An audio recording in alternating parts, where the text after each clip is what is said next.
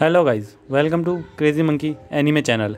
In this video, we are going to show all Warlord throughout the series in one piece.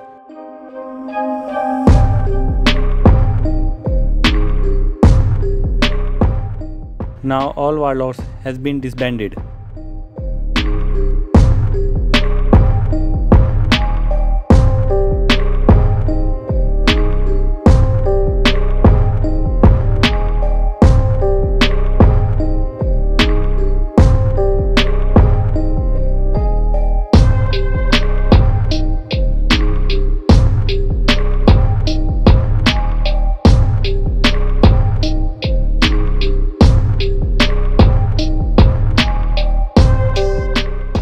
Comment below who is your favorite character in this list.